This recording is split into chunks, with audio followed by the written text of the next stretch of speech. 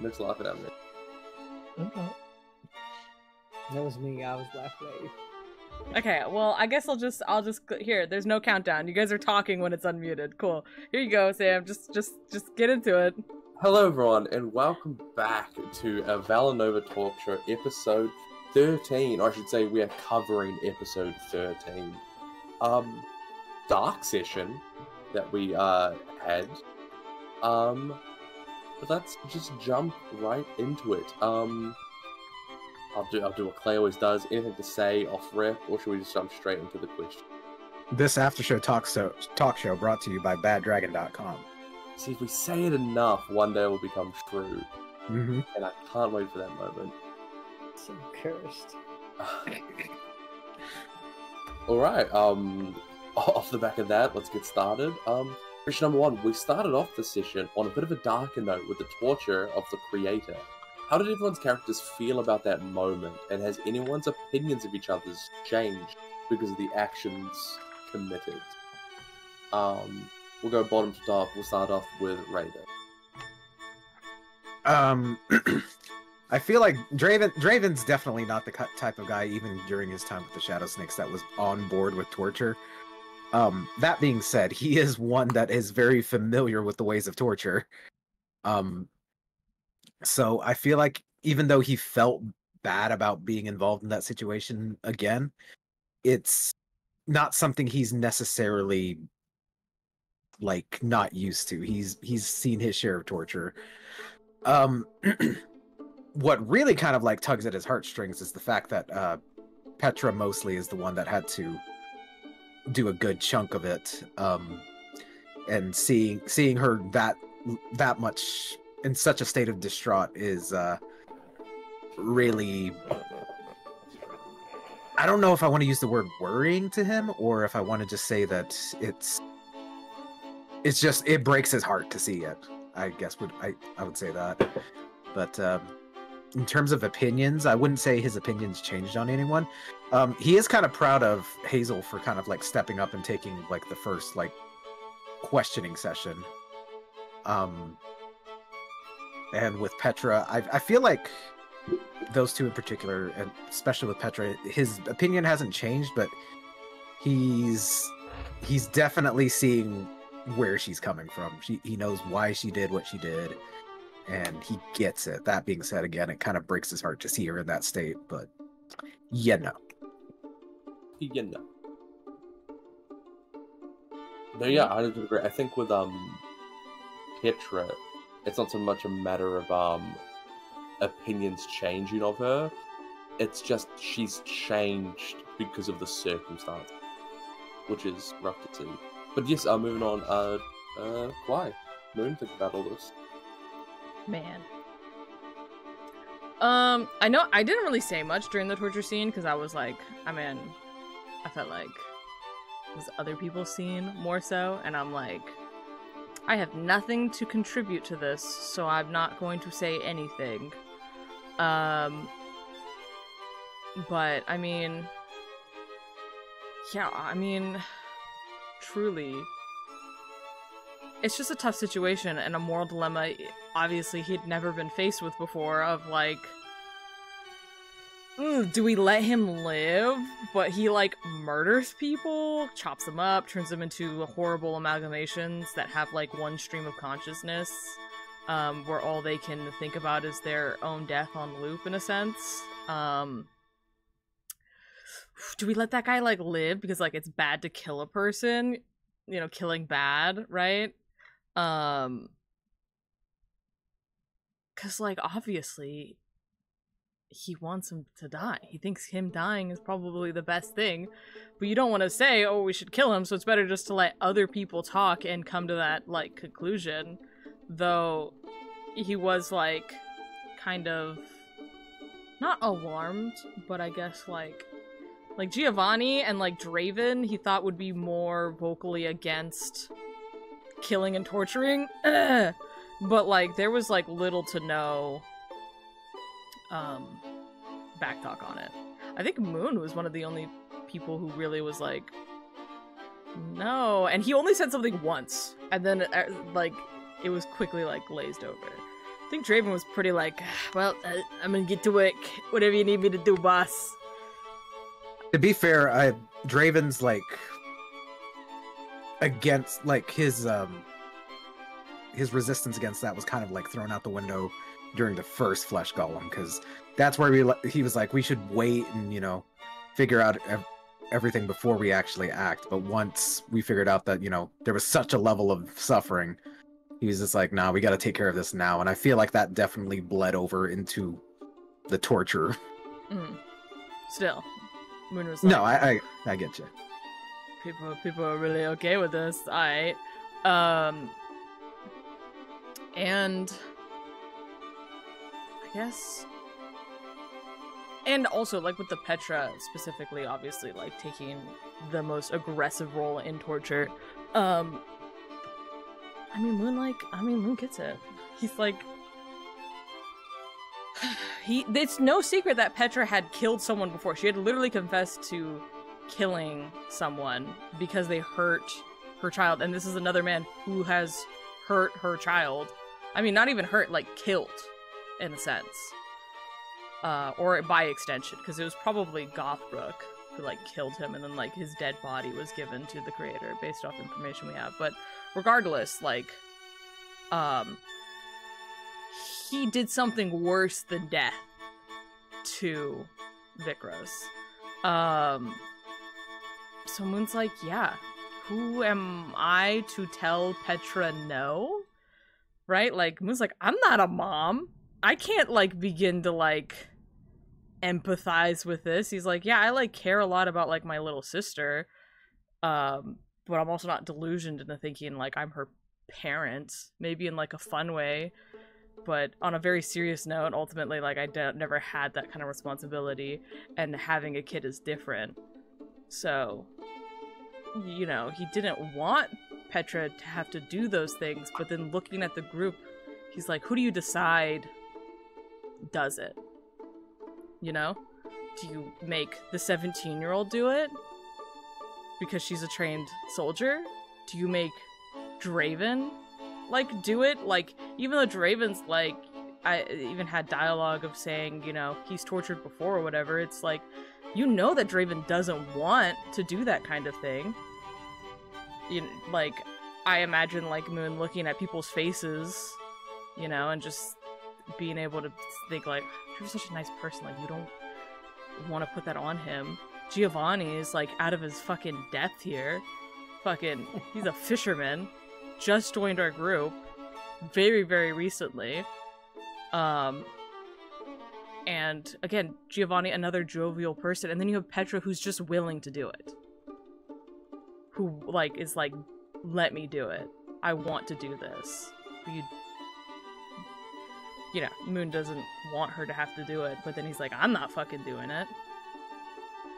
I think, um, I think I said before, like with the werewolf, uh, Omara, that if Draven couldn't find uh, a cure, that Moon was actually gonna kill Omara himself while she was in werewolf form rather than let Hazel do it. Um because he didn't want Hazel to have to have that honor conscious. Like he's like, I'm already a bad person. I can do this thing, right? Like I don't want Hazel to have to do that. But this was like a different level. Cause he's like, you know, killing like an a werewolf that's, you know, totally out of control, like this is like a sentient like person and he's like fucked up, but it just wasn't on the same level as like I guess like putting down a rabid dog versus you know, I mean actually killing a person was the way Moon framed in his mind. So he's like I I'm too much of a coward to like step up and like stop Petra from doing this. And he felt like Petra would be pissed if he like jumped in and took it from her. So he just like left it and he doesn't feel good about it. Um Yeah. A lot of internalized stuff, you know?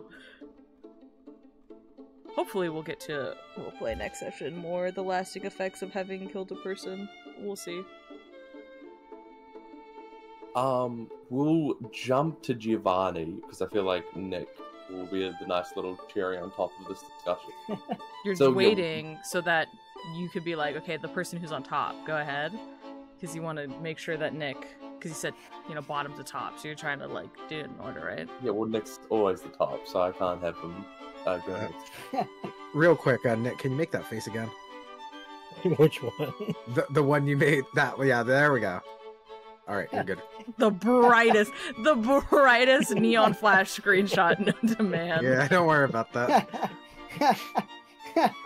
So next up, Um, Giovanni.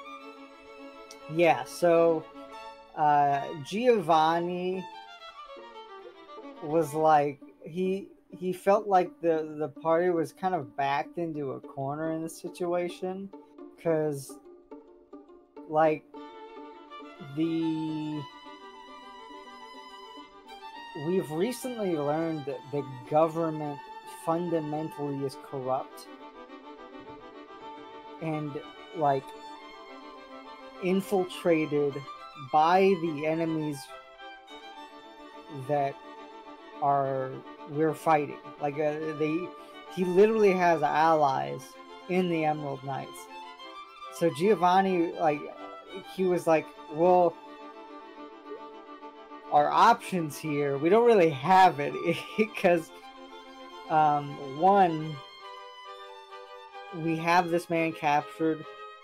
We turn him into the emerald order.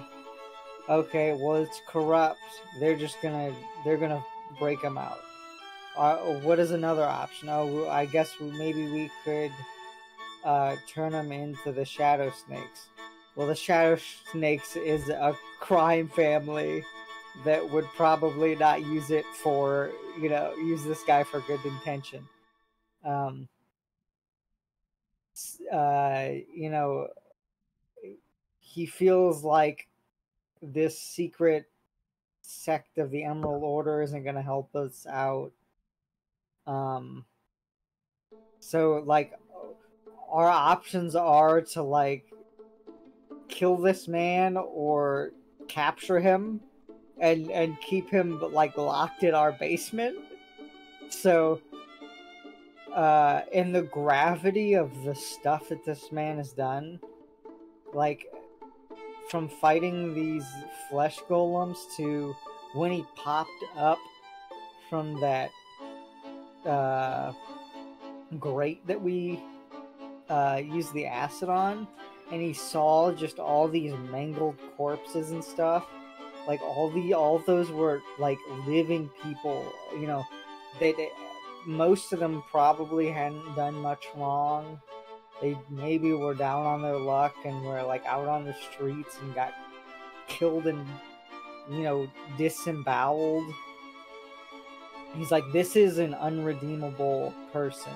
Like anybody that would be able to do this it's like when he like him just seeing it made him throw up. Like anybody that would be able to enact such violence on a human being or even a, a like a, a cadaver um is not redeemable in in his eyes. So he thought that the the only option would be to to kill this man and uh with in terms of the torture like he was like petra had a, a family member killed by this man. Like he can't even imagine what he would do to someone that if he found out they they killed his dad. Like he he doesn't know what he would do. So he, he can't even imagine what's going through petra's mind. Um so he didn't want to because he felt like him getting in the way of it would only worsen the situation. Like petra is so on the brink of a breakdown and like is actively breaking down he doesn't want to like push her further off the edge. So he was like you know this is really our only option we might as well get what we can to help us do more good because we're cornered here. There's nothing else we can do with this guy. So that's kind of what was going through his head. Um, he definitely didn't enjoy like watching. That's why he was the first to to leave, and he didn't like stay around to kind of like peek or anything. He left because he didn't want to see what was going on at all. Like he, he he doesn't enjoy seeing people tortured or anything like that. So you know, as soon as as soon as it was like, okay, we have some information, like what's gonna happen from now on is gonna be terrible. Uh, I understand that Petra has to do that, uh, but I don't want to see it, so I'm gonna leave. And I, I, he used his trident to, to like hook him up, so nobody had to stay there and hold him up because he's like, I don't, I don't think no anybody in the group really wants to see this man get brutally tortured. Uh, so that's that's what was going through G- Giovanni's head. No, I definitely agree to the extent that I don't think many people in the party would have disagreed on like the end goal. Like he had to die, not only because like he did some truly horrendous things, but like we can't. Yeah, to your point, we can't send him to the guards. We can't send him to the Emerald Order. We can't even send him to the Shadow Snakes, and we sure as fuck can't like look after it. So truly, the end goal would have been to kill him. But it's the torture that I'm surprised that so many people, not necessarily were okay with, but were like, oh well. Um, that's interesting. That everyone in the party was kind of like, yeesh. Anyway, um, but rounding out, uh, speaking of torture, Nick, what was going through your mind at the time? Um, I knew Petra had to do something drastic, and torture was the best uh, option in the moment. Because she couldn't just kill him. Because she killed Ullman for hurting one of her kids. So she had to up the ante. Um, so I don't think a lot was going through her head other than pain and wanting to inflict as much as possible onto him. Um, I had planned to like do worse, but I was just like, it might get a little too gross and dark. So I was just like, let's dial it back. I'm just gonna drown him and then slit his throat a couple times. It's no catcher Uh, um, yeah, I don't think there's like conscious like decisions from Petra in those moments. I think it was just acting on impulse uh, and acting uh, on her pain. Um, she didn't like truly care about getting information out of him. She just saw that as a way to you give me what I want and I'll let you go to be able to go back on that and uh, betray his trust um, to hurt him even more. Um, yeah, I- think it was kind of more of a head empty moment. Really?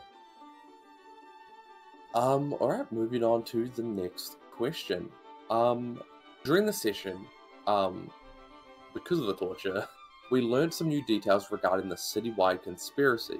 Amongst that new information was the fact that Legazi the Creator, Meriglods, and Gothbrook were working in tandem to create a form of life. Given all this new information, where do we think the conspiracy is heading? Apparently, Nick knew too much. Yeah. It was he got froze in the middle of some kung fu fighting. Mm. That Oh, okay, we can hear. Oh, there you go. There you go. okay. um, we will start with uh, GC Man this time. Okay. Uh, so the triad is trying to create a body for this person in the book to like inhabit and ascend. And from what it sounds like, the earlier members of the triad were partially successful in ascending into into godhood. Um, now,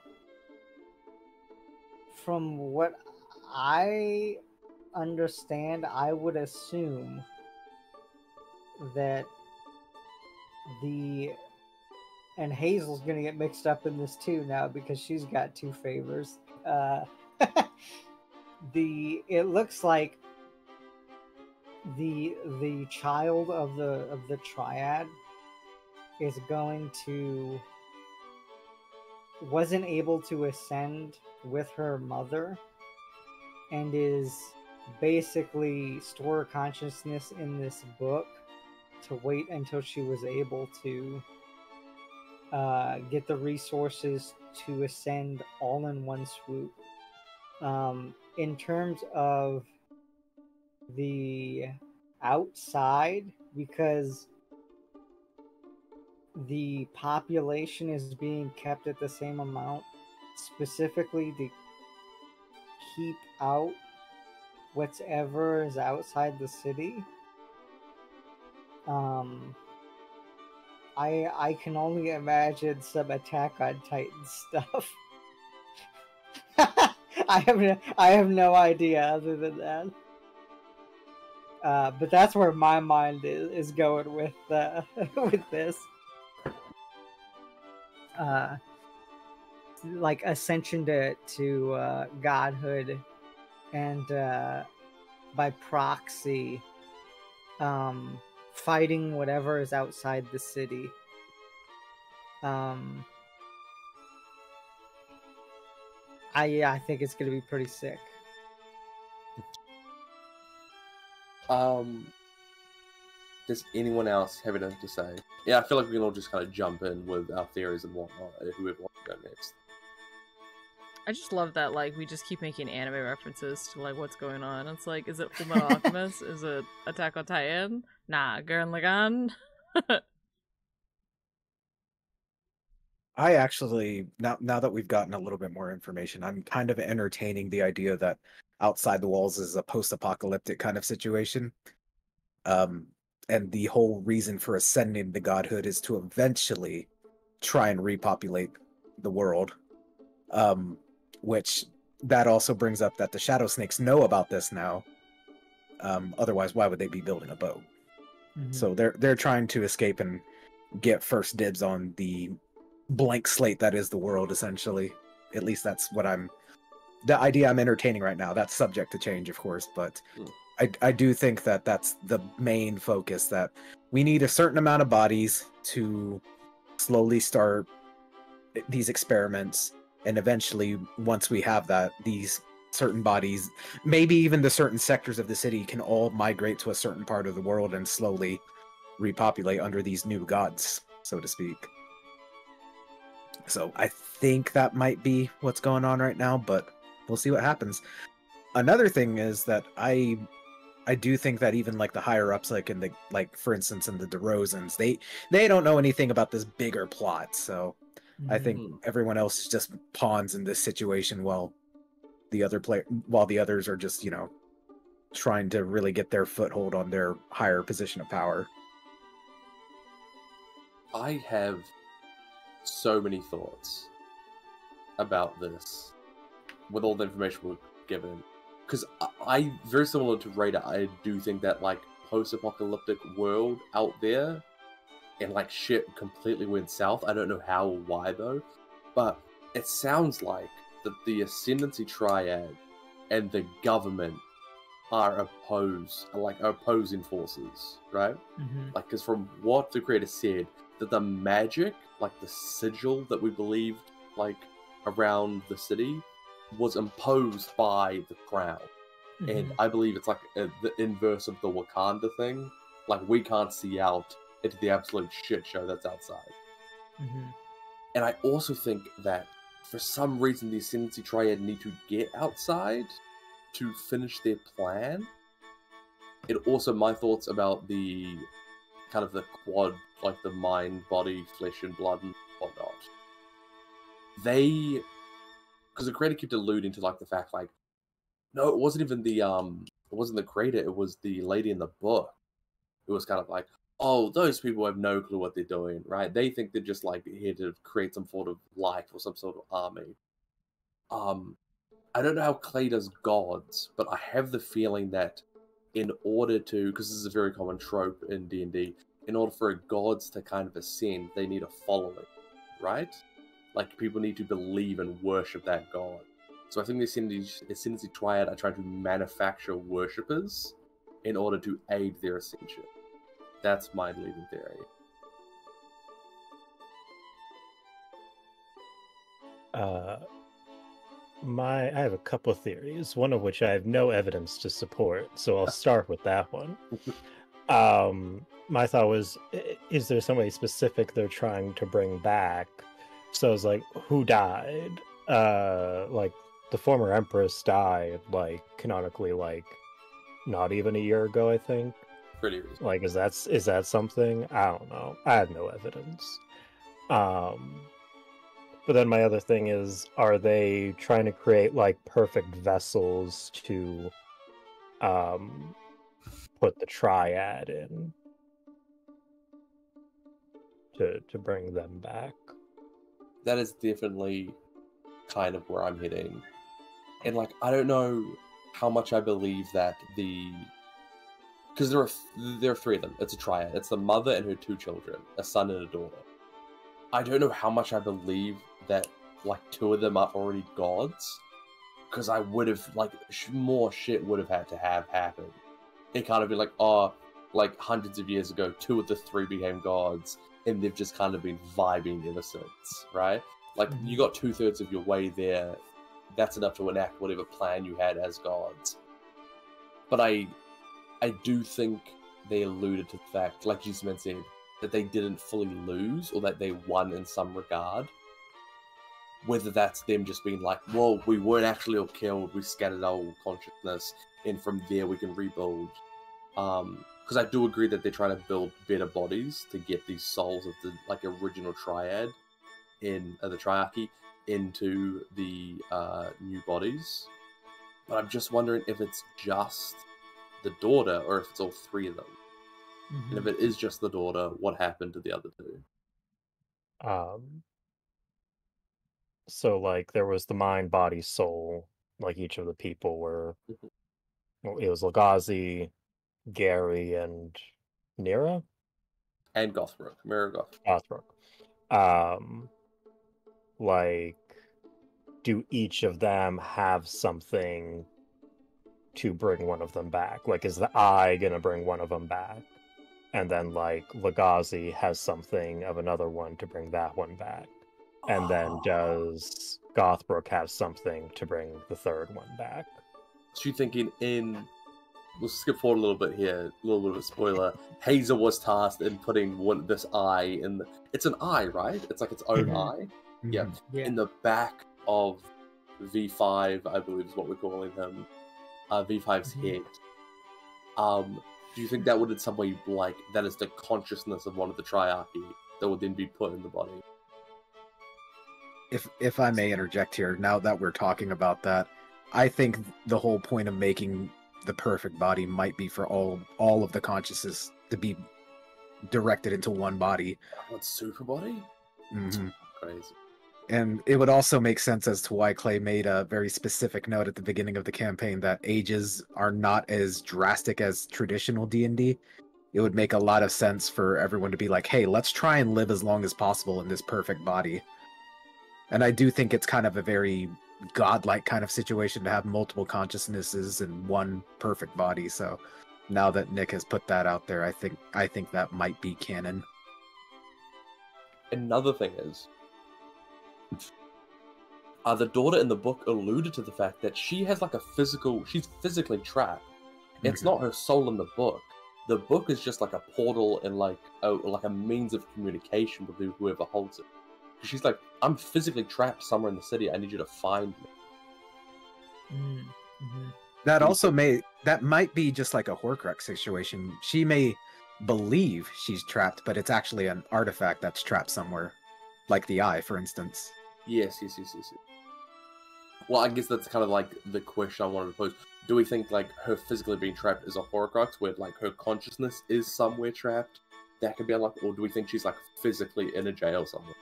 I, I think she's Horcruxed. Because if Yeah, I she's as powerful as she thinks, then even with magical means, I think she'd be able to get out some way.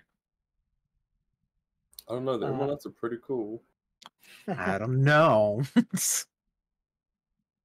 and kind of bouncing off of that.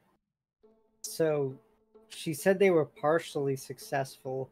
I wonder if them if like the kingdom interrupting the ritual like and this is going with kind of the post-apocalyptic theory.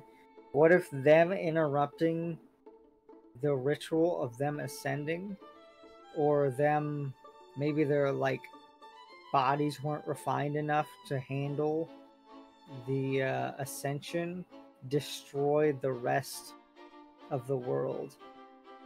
And so that's why they're hiding it because after the apocalypse uh this city was the last one remaining i could see i could see that because the only part of recorded history that happened outside of Valinova was like the Ascendancy Triad stuff, with the Mhm. original 30 Knights of the Emerald Order going out there to like stop them and whatnot. Um, and the original thwarting of the Ascendancy Triad. So it would make sense that while they were out there, shit went sideways. Big Mhm. boom. Everyone came back to Valinova, put up some magic, and acted like nothing happened. Um, any more thoughts about the conspiracy before we move on? Has anyone had a chance to speak? Oh, Kowai, you haven't had a chance. I don't have anything to add. That's why I haven't sp- spoken. Um, sweet. With that being said, moving on to the next uh, question. I go back to uh, Petra. Once Hazel and Draven had done all they could, they handed the reins over to Petra, who began to brutalize the creator. After the adrenaline of the moment had worn off, had she come to regret her actions, or did she manage to achieve a semblance of closure? Um, if she ever comes to a point of regretting her actions, it will be some time from now. Um, she's still in her grief deeply. Um, and it won't be until she starts to leave that grief that she um will be at a point where she can start to be like maybe I overdid it. I don't think she'll ever regret killing him, No. but um maybe she'll regret killing him four times um but i i, I think that's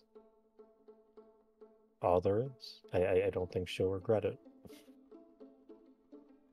Alright, fair enough. Um, next question. During the walk back to Petra's, Moon and Hazel had a conversation regarding what had just happened. Um, did the conversation change Moon's opinion of Hazel, and why does Moon think Hazel went to him above anyone else? Man, what was that conversation about? Uh, if I recall, basically Hazel was just like, I didn't like that. Did it change his opinion of her? Not really. I think it just solidified what he thinks because he's always kind of just been like, honestly, at like like I said, as soon as he found out that she was just like 17 years old, it just totally reframed the way that he saw Hazel, and this just like reaffirms it more so.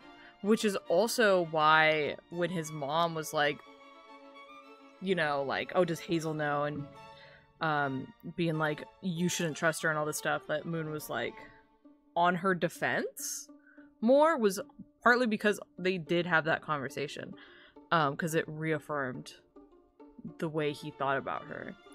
Um and yeah it was a it was a nice conversation you know he didn't feel like he was actually all that helpful really. Um and he like he did have more to say, but Hazel kind of like scurried off relatively quickly, awkwardly, more awkward than him actually. Um, and yeah, he's just kind of like made a mental note to keep maybe an eye on her and maybe like check in later on um about some of the stuff because yeah he feels like maybe he doesn't think people in the party put that much pressure on her but he thinks that people in the party don't treat her like a kid very often. Um like with hazel like kind of taking point on the torture like everyone just like let her do that. But he's like why would you let a 17 year old just do that? And he knows he's not any more innocent because he also just let people like that happen. But you know um with that conversation yeah he's like i think you there's this idea that hazel has it together and is like mature and strong and like um can handle these things but you shouldn't make like just because she can doesn't mean she should right? Um so he wants to probably check in with her later. Um and maybe help her feel more like a kid? Because he's starting to get the feeling that she isn't never had that i guess. Hmm. Especially if she's wondering like i should like i should be comfortable with that i should be fine with that. That means someone's told her that she should be fine with that. That's been instilled in her that she should think those things. Yeah, the Emerald Order made torture seem so cool. You know, it wasn't. Mm, I want to give spoilers so bad, but I will refrain. I have that same sigil that Gary had on his tongue. Oh. Um, wonderful. Uh, next up, Petra seemed to truly believe that her son was still alive somewhere in the amalgamation of flesh. She treated the golem as if nothing had happened and even began babying him to a degree. Does Petra truly believe that that is her son? If so, do you think they'll ever wear off? And if so, uh, what will she do then? Feels so popular today. I gotta do torture more often. This, this is Um. a very Petra heavy episode. uh like on a surface level she has the mask that he's alive this is her son she can fix him uh me uh but but uh but like deep down she understands the situation. She's just not ready to face the situation. Um there will be a time definitely when she uh, is just like yeah he's dead. Where do we go from here? Um because even if there is one one hundredth of him there uh which i think is being generous uh it's not him and it won't ever be him the other pieces of him who the fuck knows where they are even when we had every piece, we can't bring him back. You know, I I don't think canonically any of our characters would know of a of anybody who could pull that off. Um but uh you know, I, I, I think within the next session or two we'll see her uh have her come to uh Jesus moment uh, and accept what's happened and start taking the steps of moving forward.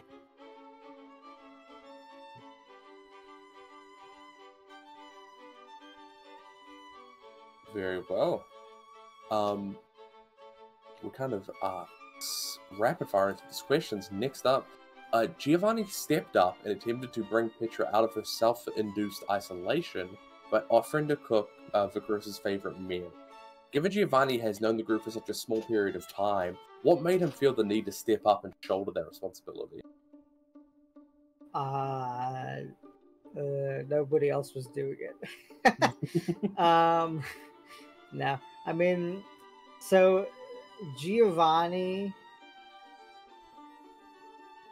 kind of knew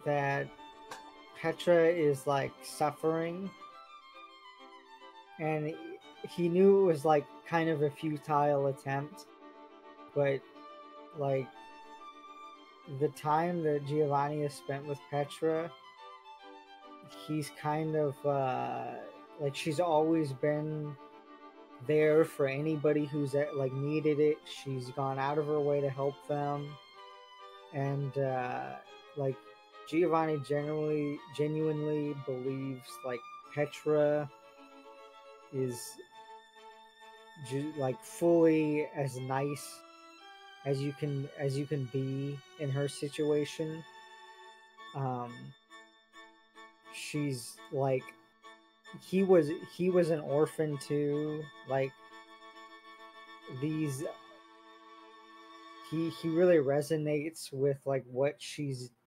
does for the party and does for her like family members.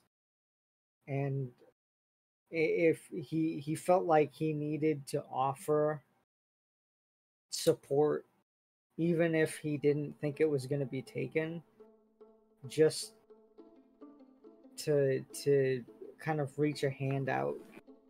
Um if there was a way to pull her from you know any bit of grief it's worth trying. It was his mentality in that and that mindset. Um he he put the offer out there too as kind of an extension for whenever she feels comfortable. Like the he wanted to offer it early so you know when it, whenever she wanted to she could go to him and and kind of heal by by getting her mind off of the situation and doing something else that had a happy memory uh embedded in you know the sadness that she feels so that that was his kind of mindset for the uh, interaction. He figured she would turn it down but he wanted to open that up for the future. Yeah, and kind of segueing off the back of that, um, Petra, given the fact that you ultimately did turn it down, did I guess kind of like either consciously or subconsciously Petra recognize that as like a kind gesture from Giovanni, despite ultimately not accepting it? Or would you think she was just so tunnel vision she just shut it out? Now, you know, Petra may have taken it as an insult. You know, someone else cooking. She she's lucky she didn't kill Gio. Giovanni's lucky she didn't kill him when he made those fucking spaghetti and meatball mason jars. But uh no, I, I think I think she understood what he was trying to do. Um and that's why she said just like, "Oh, another time." Um because I I think um she wanted she, she didn't want to just blow him off or anything like that. Mhm. Uh because again she understood um yeah, I don't think I have much else to say on that.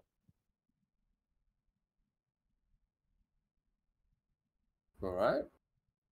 Um, I go back to Giovanni. Given the fact that Giovanni is still relatively new to the campaign and hasn't had much of a chance to characterize himself yet, are you looking for more opportunities to do so? And do you see any of those mo- moments happening in the characterize Uh, is a poor choice of words because I feel like Giovanni is full of character, but like those big defining moments to really like center yourself in the campaign.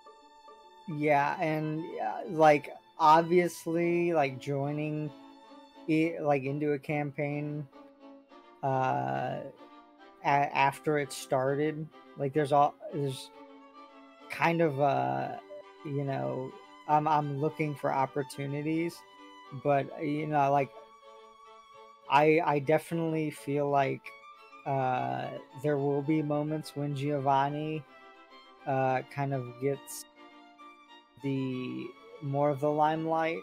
Um, I, you know, I kind of uh, look for situations where, like, Giovanni would be more fam- familiar with, as to like that way. I'm not like just completely breaking like character because like obviously I know stuff about the campaign like I've been following it uh semi loosely beforehand. Um so I'm I'm mainly looking for like areas that Giovanni would kind of have either like direct correlation like he can relate with it or like you know instances where he can interject in you know like the uh with bear or stuff like that to help characterize him. But yeah i'm definitely like i i i know giovanni time will come. And Mhm. so i'm not like trying to force myself into scenarios that i don't think would be right for him. But yeah i'm definitely i'm definitely looking for ways to show who giovanni is um during you know moments and times when i, I think he would have something to say or stuff like that. Like the like the rose scene where he kind of he was trying to talk down uh ti- talk down the situation. Like that's something he would definitely do. Like he would Mm. he he sees like everybody stressed out he he's he knows this family. He's you know shared meals with them. They're distressed. He can understand that. And he wants to like de-stress the situation. So he'll go in he'll, he'll talk. He'll try to de-escalate it. Uh but yeah. So uh for sure giovanni is like he I, he has so much character to to show and i'm Mhm. excited for him to be able to show it uh because i gave him such like a boisterous personality um but yeah I, i'm definitely waiting for like his time Oh, absolutely. And I look forward to it uh, just as much. No, no, no, no. Here's a question. What is Giovanni actually like? Is he gonna make moves on Moon sister? That's the greatest question of the century, I think. One of my favorite moments in the session was just out of pocket. Like Moon's mom has just had this conversation with Moon. You know, I'm a werewolf. I think my sister's dead. She's on the brink, and then out of nowhere, she's like, "So what do you think of my daughter?" uh, the funniest part about that was at the beginning, I I missed. I didn't realize who she was talking about. I thought she was talking about the werewolf that we cured because I didn't remember her name.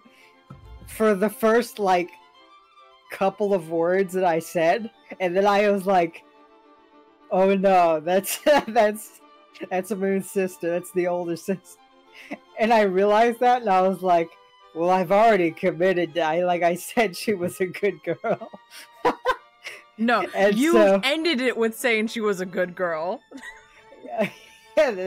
yeah, I, I, I had already said like, "Oh yeah, like I like her," um, and so I was like, "Well, it's canon now." Like, this the the Giovanni Rose angle is getting played out. I don't know how it's gonna end, but it's gonna end. I, I'm committed to the bit now. I also toyed with the idea when Ash inevitably confronts Draven, where he panics and he's just like, "Uh, uh, I'm dating your mom." Mom? She's married. Like Hey, happily Just, married. ju- just because all- just because there's a goalie doesn't mean you can't score. How how happy can it be if he's in jail? You know, Oh, she she has needs that Draven can pro that can Draven can meet. if Draven, if Draven's, yeah, Draven has said multiple times, I can't say no to Ash. It would break her heart. But I could say I'm fucking her mom because that's what I've heard her feeling before. I feel like it's such like such an extreme. It's like where you know something so ridiculous happens that you're just like, okay, that's not real. But something more ridiculous happens and it has to be real. It's like that kind of spectrum where it's just like, if I traumatize her so much, it won't register as trauma. If It's Draven said that and he found out, if Moon found out about it, dude, Dr- Moon would fucking fold Draven over his fucking knee. I, Draven would discover what it's like to be fucked by a bear. Okay, oh no. I'm getting looking forward to that session. oh my god. Any more comments to be made on this? No, unrelated. Will G- GC man, are you gonna try to make moves on Moon sister? That's what's the play now? Or do you think Uh, Giovanni understood the question? Or did I he? don't. did he... I don't think Giovanni understood the question. That's why he said that she was a good girl. he he said he said it because he was like, he thought, oh yeah, like she's nice. She's you know every she's been very generous. Like every time I've been over there, she's you know asked how I was doing. Yeah, she's like a good person. Um, that's that's how I was like, oh yeah, like Giovanni completely misread the question so because like him and Bear are best friends. And do you think if like it gets proposed, right? Like his mom brings it up, or if Rose like comes up to him, do you think you as a player will pursue that, or what?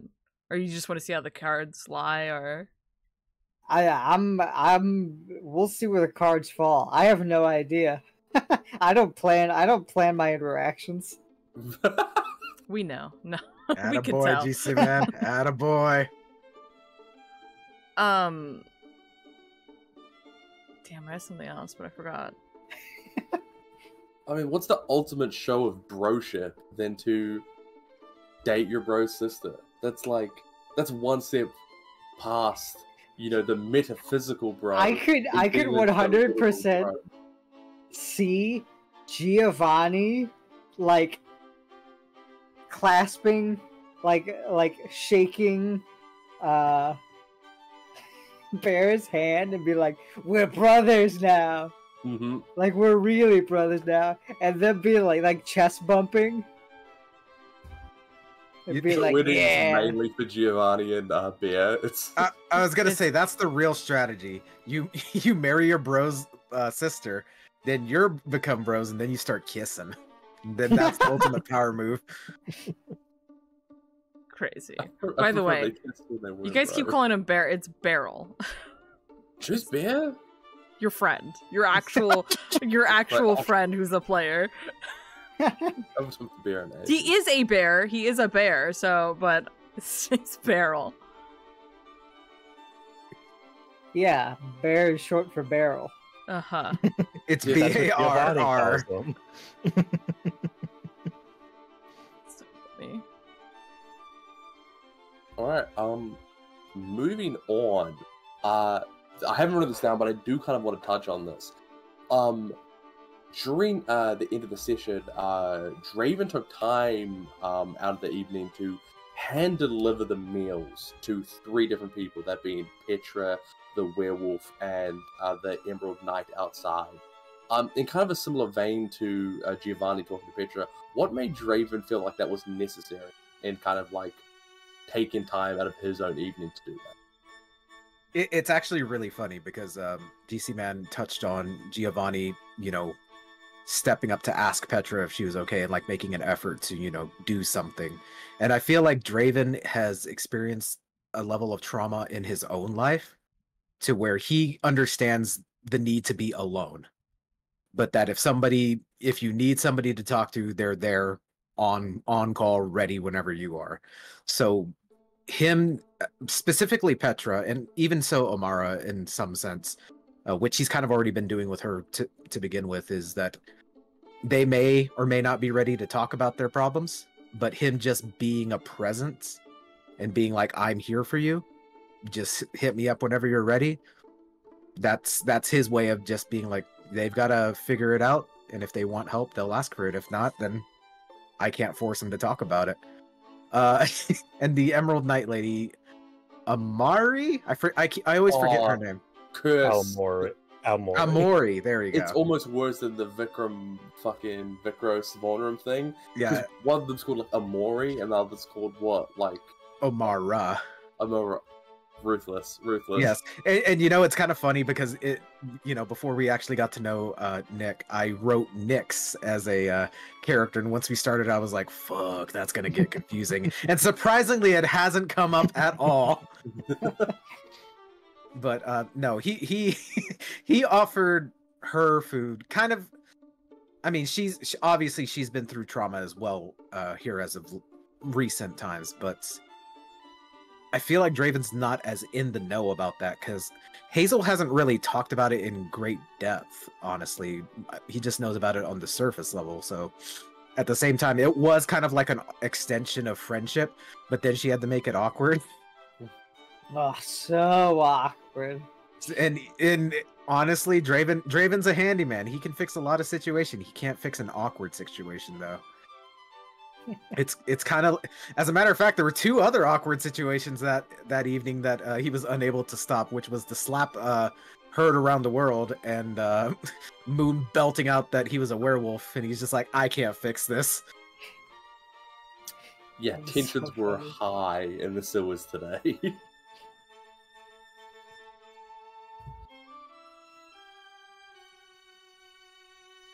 there are no more comments to be made, uh, move on to the last question. Um, speaking of uh, the werewolf outburst, uh, Moon had a conversation with his mother this session, which ended with Moon coming clean about a lot of things, including his lycanthropy and the fact he believes his sister's son to be dead.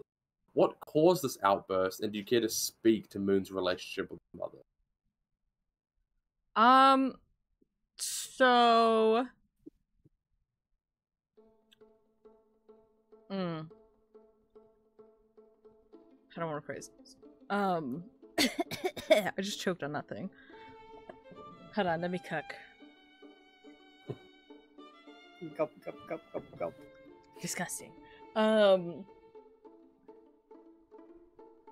So Moon, his relationship with his mom. One thing about his relationship with his mom that, you know, is one of those. It's it's a it's a, a lack of something, right? Moon hasn't has only had I think like two on screen interactions with his mother, like conversations. No, three. I think it might be three, because including the one that just happened, it'd be three interactions. Um, and with Moon's mom, it's more so the fact that they that that's his mom and they've had three interactions. Um, that I think like lends itself to why Moon is the way he is. Like obviously he suffered trauma or whatever and had shit go on in his life, but when you look at like the family around him and how he's treated, it kind of like is indicative of why he is the way he is. Um and there was the interaction bef- like way last time where he told his mom that there are werewolves in Vista Heights, right? He like he was like Sarah got I need Sarah to get checked because I think she's been bitten by a werewolf. I made like a saving throw to see if Moon would be honest with his mom at that time, and I think I rolled a natural 20. So Moon honestly told his mom there are werewolves in Vista Heights, right? And his mom was like, I think you're confused, right? Treated him like, no, honey, there isn't werewolves in Vista Heights, right? Um, and this time, uh, you know, a lot of shit had happened. The torture shit and whatever. He's like a balloon ready to pop full of stress because there's being a shifter has like they have extreme reactions to emotions. They're like on the extreme scale when they feel something, and he's not used to that. And then also the lycanthropy on top of that makes it much worse. It exemplifies that even more so. Um so he was just super stressed out um and when he realized that the flesh golem, you know, like that could be like Vikaros or like one fifth of fucking Vikaros. Um, he's like that could have happened to my sister too. Like she's that's in some category that's what's happening to these dead bot or to these dead bodies to the people who go missing. Like my sister's probably dead. So it's like we tortured a person, my sister's probably fucking dead. There's all this other shit like I'm a werewolf. There are werewolves in Vista Heights, the Emerald Knights. Like it's like all of this crap that's been happening is just like bubbling up. So his uh you know mom's talking to Giovanni, Giovanni smoothing it over, which would have worked, but then his mom, I think like watching the VOD, turned it to Moon and was like you know, just tell me like what have what have you been up to? Like what have what have you what were you doing? Right? She outright asked him like what they were up to, which was torture, by the way. Torture and murder was what they were doing uh, and they killed someone who was a fucking murderer, psychopath, fucking Leatherface. Um, so she like turned that question on, him, and then yeah, he just like popped right, uh, and was like, "I think my sister is dead," just outright, because it, one thing too is like the, his family had never talked about Sun being missing. Really, it was just rumors and like people noticed she's not showing up, and no one really asked Moon why. Like it's just like, oh, she's missing, and like it's a conversation that never happened. And his mom's just kind of like holding out hope that she's somewhere out there. And Moon too, in a way, was holding out hope. You know, he runs into these strangers, the start of the campaign. Um, people are like, oh, the other people are going missing, and they've been investigating it, and now it's reached a point where they're in some deep shit. Um, and it looks like she's probably dead or like honestly something worse might be happening to her where it's better to think that she might be dead and his mom's like finally like what were you doing right like kind of like comes to grounds what were you doing and he's just like i don't want my mom to live with this delusion that Sun's just out there missing you know like she's probably fucking dead. So he's just out but he doesn't say it eloquently. He just shouts out i think she's dead right? And then his mom breaks down um and you know they have a little bit of conversation. She's still trying to be like comfort moon and is comforting moon more than she ever has which is not much and he also lays on top of that like uh yeah i'm a werewolf right and again you know it's almost like he thinks to himself, you should be able to tell your parent something and feel safe and feel comforted, right? You should be able to like say something to your parent and they blanket of warmth, right? Like it's okay. In the same way he wants to do that to Hazel. Like Hazel's like you're 17 years old, you shouldn't have to be go through those things. You should be able to have like an adult who's like you're just a child, I can shoulder this burden you don't need to go through that. So Moon's having this like explosion of here's this shit going on. I think my sister's dead. I'm a fucking werewolf, all this stuff. And he doesn't feel relieved. Like he's saying this to his mother and he does not feel that like relief from it. It's no comfort, it's nothing. Um and you know, the conversation ends off with like uh his mom brings up Hazel, which Moon defends Hazel in that moment, being like, she's just a kid because of the conversation they had earlier, which turns his mom on him to saying, like, you know what? Why don't you keep doing and looking after yourself like you always do, and I'm gonna go take care of our family. In a sense, like, once again, like pushing Moon away, which really solidifies, like, kind of their relationship um, and their dynamic, which has gone mostly unspoken, but Moon's on the outs of the family, always kind of like has been. And everyone in the family, his family has always said, like, we have no problem with Moon. We love Moon and all this stuff. But this is truly at the core how his family treats him.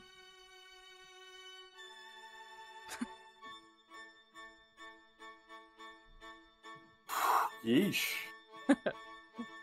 no, um, Uh, beautifully put. Um, that is the last question I have written. Anyone have any questions they would like to pose to the group?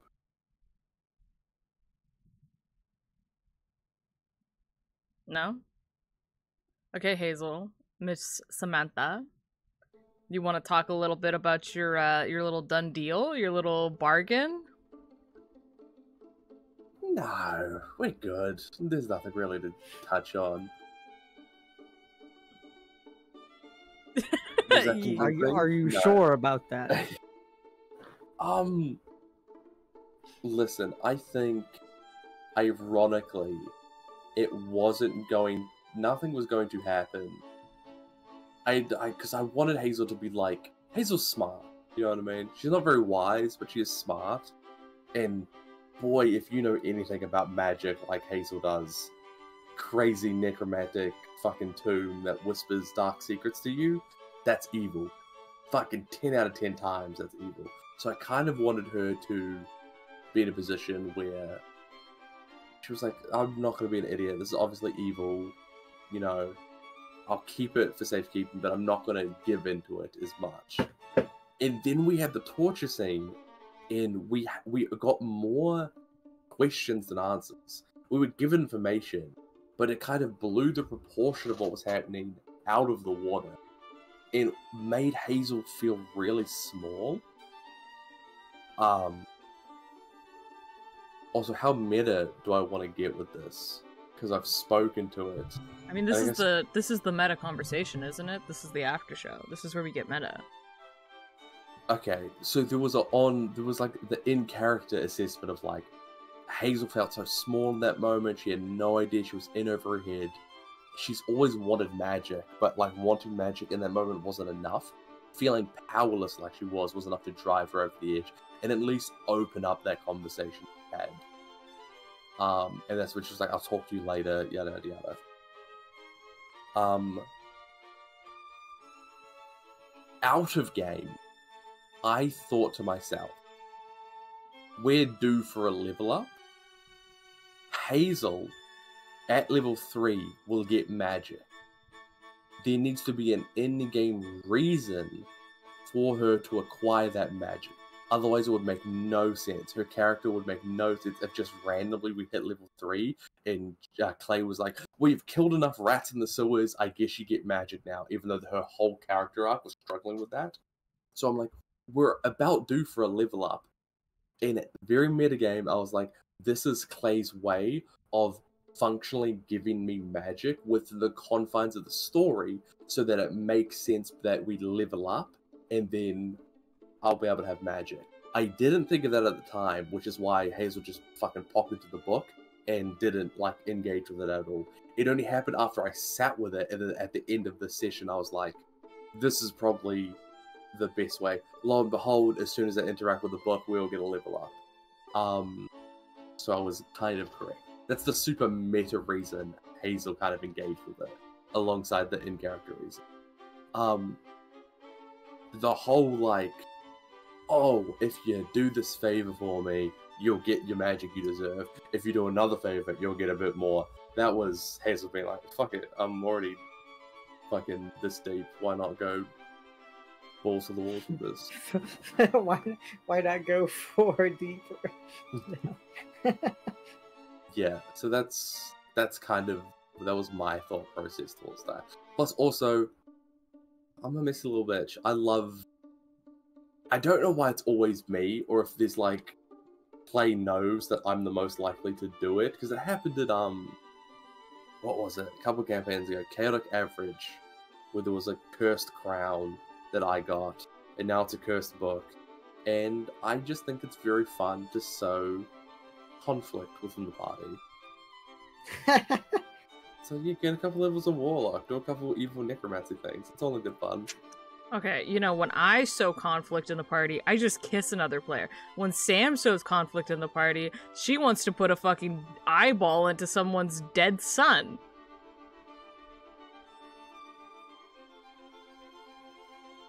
Yeah, but when you word it like that, you What Sam wants to do, she becomes a warlock with a fucking lich. okay. I didn't know I was gonna become a warlock. Thank you very much. Oh. You didn't think you're gonna when she said let's make a deal, you didn't think you were gonna become a warlock. No, I don't got that warlock brand like you see, man. You I found an like, evil, evil crazy. fucking book that has an entity, a powerful entity sealed inside of it that said let's make a deal. Not a thought in my mind was about like I'm. This is a warlock. This is a warlock like arrangement. I'll probably get a level. None of that went through my mind. I was like, this is a crazy book. This is as gonna be soon good as that happened, I was like, Warlock. that's, Okay. that's that's a patron right there. You're talking to a patron right now. I'm not keeping these warlock levels long. I'll be lucky if I get one fight in before Hazel goes against the fucking book, and then Bro, I you lose levels. cannot go against the Clay, book. Clay immediately after last session was like, "Do these favors." You're like, "Okay, Teehee." Literally a few days later, nah, I ain't doing it. It's not real. just like that, your power of me isn't real. You're gonna you're not gonna do a, fla- a favor, and you're gonna lose like six levels, even though we're not level six. Hazel's You're gonna, gonna turn into negative. Voldemort from the end of fucking Deathly Hallows too.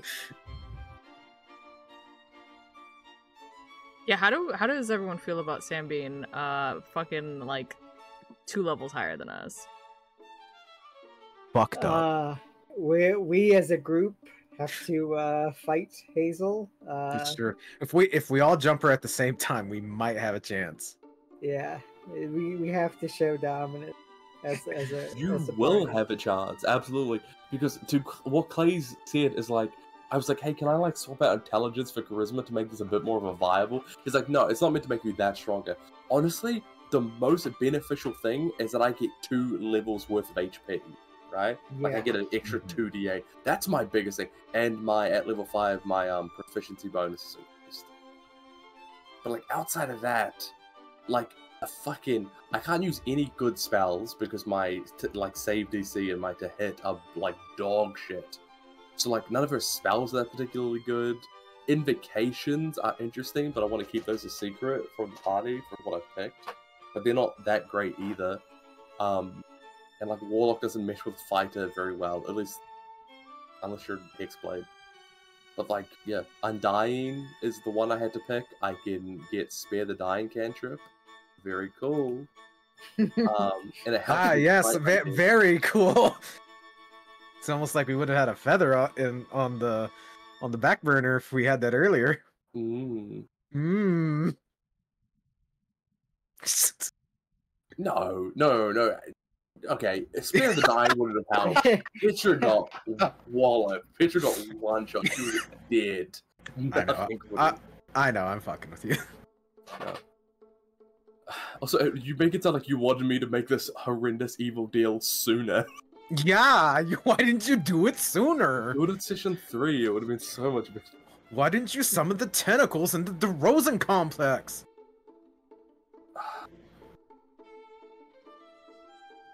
I mean, yeah. That being said, that's all I have to say. My, to be, it's not even a defense. I fucking, it was a dumb, stupid move, but it's a dumb, stupid move I think a teenager would make, and uh, I rest my case. I do like it though. yeah. I am curious how much this is going to fuck with with your character though. Like in terms of like builds. Cuz you you mentioned that you're not going to keep them long. I think you might keep them. And it might you might just be fucked out of the max level that you're going to get. If his thing, two is a if if I do have to keep them, two is a very intentional number. because 18 is the last like even if we i do because i don't think clay's intending us to get to level Ten is to get to Oh. level ten.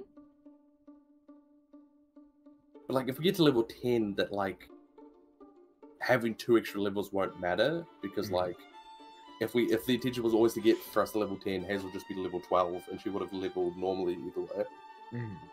God, if we're getting level ten, we're barely level three, you think it's too big. you all would have brought up level 10 I thought that's what you said.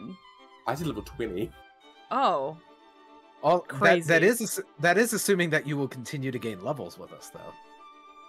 but do you think i'm just going to be on a completely different like fucking wavelength No, I'm thinking that we will get two more levels, but you will stay the same, and then we'll start leveling up equally. Hmm. No, Possibly. I, don't know. Clay loves unbalanced stuff. Clay loves inequality. Let it be known right now. We know this to be true. session.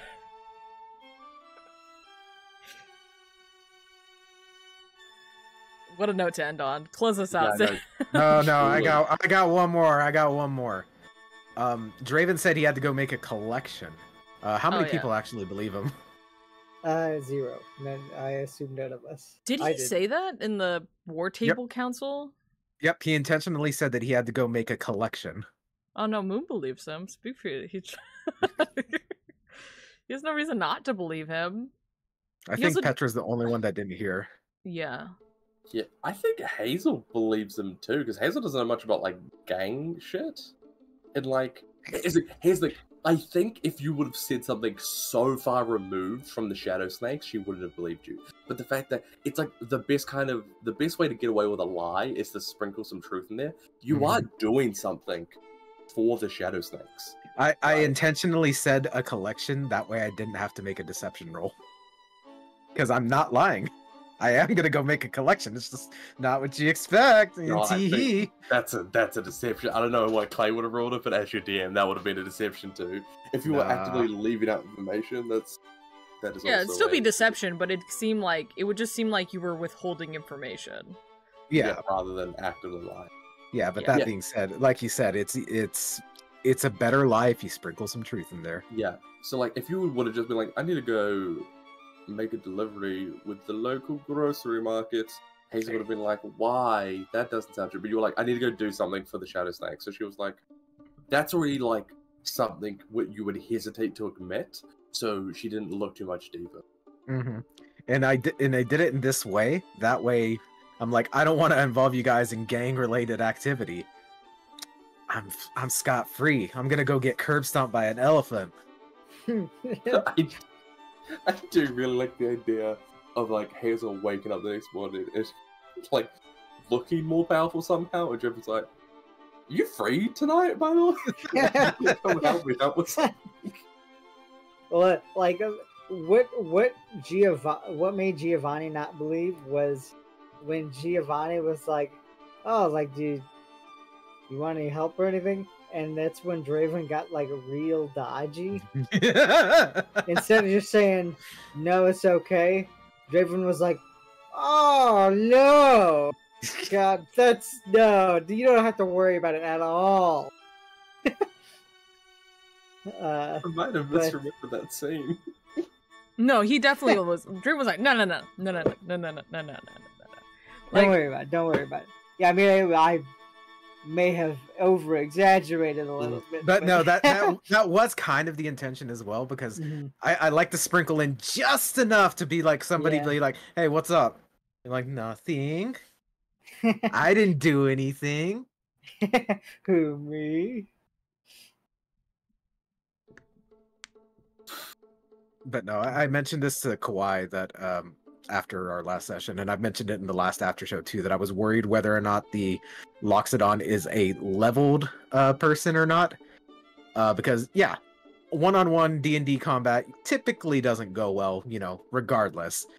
Um but that being said, um, especially because Clay admitted that Omara is going to be a NPC when she's traveling with us, that leads me to believe that the Loxodon will also just be NPC and it will be a more mental battle than an actual battle battle.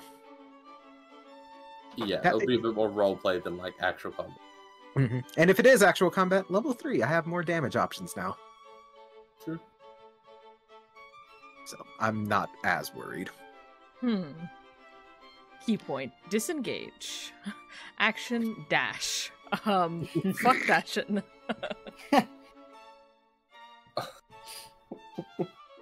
I am absolutely looking forward to the Loxodon confrontation, uh, regardless of how it plays out. I think it'll be cool. I really want it to be just like you see this old ass Loxodon. He's barely walking, and I'm like, all right. Yeah, and the Clay's gonna be like, he has a lair action. Um, Legendary resistance. Loxodons do have high constitution, so my poison stuff won't be that good, I guess. Hmm. We'll see. Alright, if there's nothing else to be said, I think this is where we're going to end this session. Alright, thank you everyone for watching. Uh, if you're watching this on Twitch or on YouTube, uh, love yourself, love each other, love animals, stay hydrated, and uh, we'll see you back 7 p.m.